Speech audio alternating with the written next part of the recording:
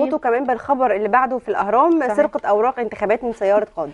آه، هو الربط الحقيقة طبعا عندك حق إن إحنا نربط بس أنا برضو أنا ألوم شوية على القاضي. طبعا واضح آه، أو وارد جدا إن تحصل عمليات سرقة و و و. ولكن أنا لما أنا أكون يعني معلش قاضي وعندي مسؤولية إن أنا متسلمة الورق من بالليل علشان صباح تاني يوم وده طبعا كان إجراء جيد جدا آه، عملته اللجنة العليا للانتخابات إنها تسلم القضاء الأوراق قبلها عشان ما يحصلش تأخير في تسليم الأوراق.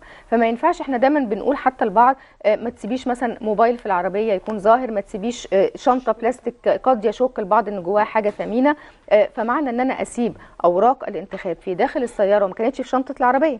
هي كانت آه، في داخل السيارة لأن اللي حصل إن اللي جه كسر آه، إزاز العربية وطبعا حد أكيد ماشي ورا القاضي لأن القاضي كان في بيزور أه- أقاربه في المهندسين وهو مسؤول عن إحدى اللجان السلام مدينة السلام فيعني كان بعض الحرص طبعا هو طبعا مشكلة حصلت وخلاص وعدت ولكن بعض الحرص خصوصا إن دي مش أملاك شخصية دي أملاك دولة ومصير مظبوط. يعني عبث بجد لأ يعني يعني اللي حصل حصل ويتمنى يكون ده. درس لهذا القاضي ولبقية. القضاة ولينا كلنا. ان ما حدش يسيب حاجة. ثمينه في العربية.